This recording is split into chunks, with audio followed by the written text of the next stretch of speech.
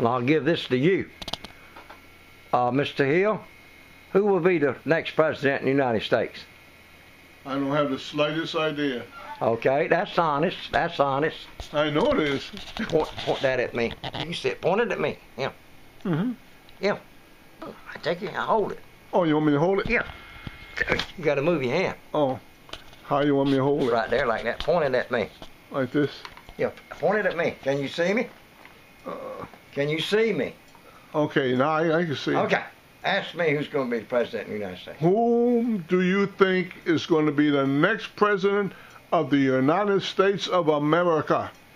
Hillary Clinton will be your next president of the United States. I have guessed since I've been alive. I have guessed ten times who would be the president before they ever got there, and I was right on each one. And I know I'm right there on the target with this one. Hillary Clinton will be your president of the United States. God bless y'all.